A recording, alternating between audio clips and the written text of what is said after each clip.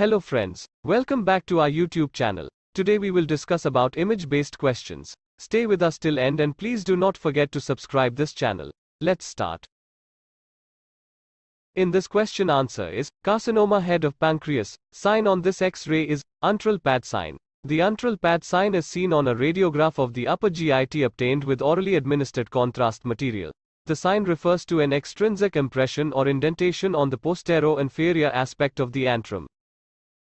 In this question answer is, pneumoperitoneum, this radiograph show, Rigler sign. The Rigler sign, also known as the double wall sign, is a sign of pneumoperitoneum seen on an abdominal radiograph when gas is outlining both sides of the bowel wall.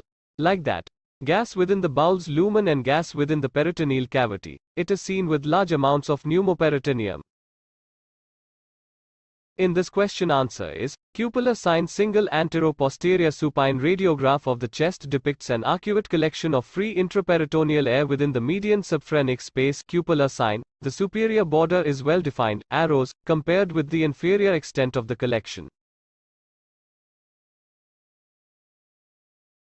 In this question answer is, Patau syndrome.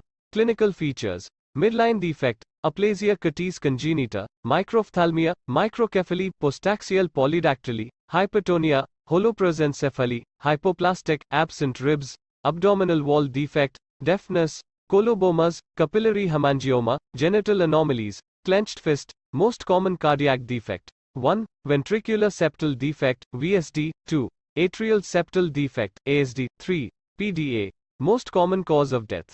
Central apnea,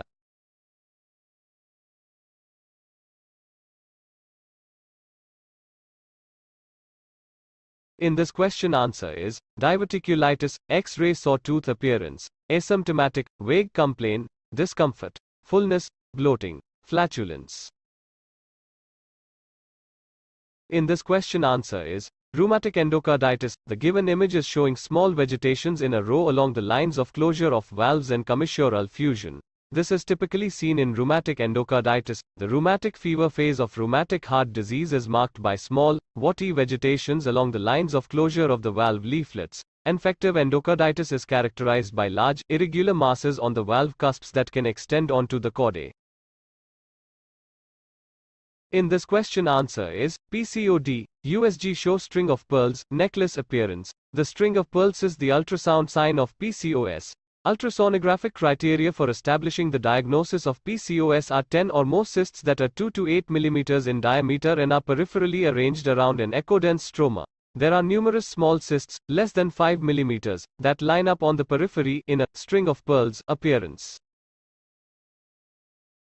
In this question answer is osteomalacia. In this X-ray show Looser zones. Looser zones, also known as cortical infractions, milkman lines or pseudofractures, are wide, transverse lucencies with sclerotic borders traversing partway through a bone.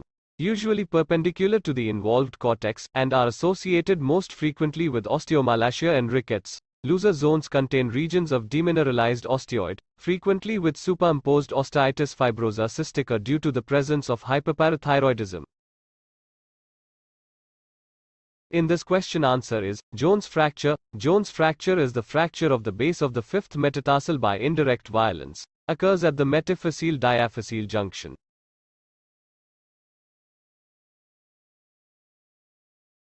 In this question answer is, fractured neck of femur. Shenton line is an imaginary curved line drawn along the inferior border of the superior pubic ramus, superior border of the obturator foramen, and along the inferomedial border of the neck of femur. This line should be continuous and smooth.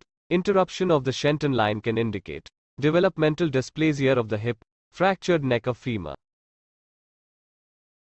In this question answer is, Gartland classification of supracondylar fractures of the humerus, 1. Undisplaced fracture, 2. Displaced with intact posterior cortex, 3. Completely displaced either posteromedial 3A or posterolateral 3B, 4. Multidirectional instability with circumferential periosteal disruption. Thank you for watching. Please do subscribe for more updates and support.